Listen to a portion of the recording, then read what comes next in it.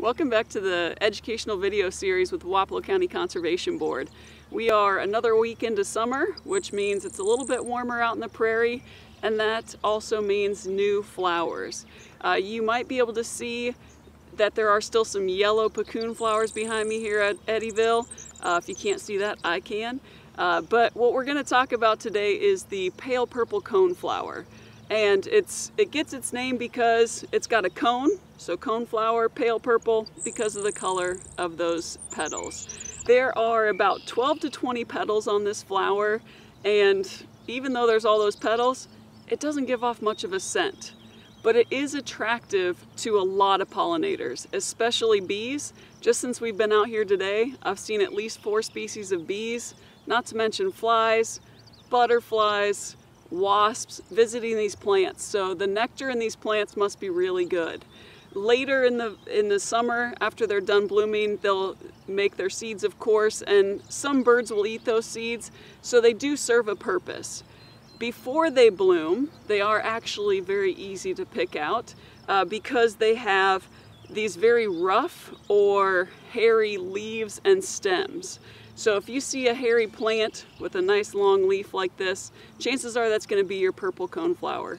Great for a front yard planting if you have a prairie at home.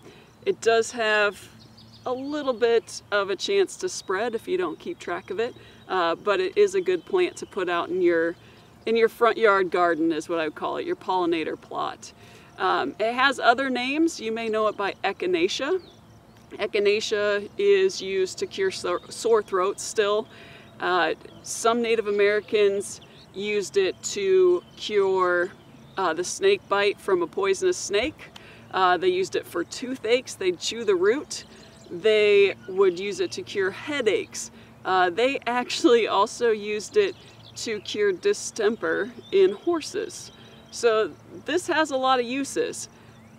As always, I will say, don't try this at home without the proper training uh, and knowing what you're doing. And don't come out here and pick all of our cone flowers because you think it's going to make you healthy. Uh, it is illegal to come out here and harvest these, so don't do it. I also read that another way some Native Americans use this plant was to um, kind of keep them from feeling heat as much. So it is said that medicine men would use the juice of this plant and they'd kind of bathe their arms and hands with it. And then they would reach into a boiling stew to take out meat. And they could do that without gloves or anything like that because they had used this juice supposedly. I also read that they used it before they went into sweat houses uh, so they could hold hot coals or put hot rocks in their mouth and they wouldn't feel the heat. Again don't try this at home uh, but it is something that I read. If you do want to see this, this plant in bloom, it'll bloom anywhere from May and sometimes into the fall, August, September, October if we're really lucky, but probably September at the latest. And you can find it in all kinds of prairies. The dry prairie like here at Eddyville, uh, at uh, Ridge Nature Area, there's a lot of it. So you're gonna find it if you're looking for it. And it is a great plant for attracting animals. If you do want to plant it, they say it's deer resistant, although I've seen them eat mine, so I don't believe that. They are drought resistant though, so you don't have to worry about watering too much as soon as they're, they're put in. So while you're out this summer uh, into the fall, just you know take a look around.